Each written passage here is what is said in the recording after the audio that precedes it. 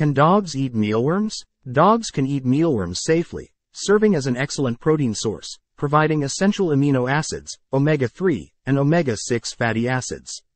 It's crucial, however, to emphasize moderation and proper portion control to prevent any potential complications. Mealworms are high in protein and healthy fats, which can benefit dogs.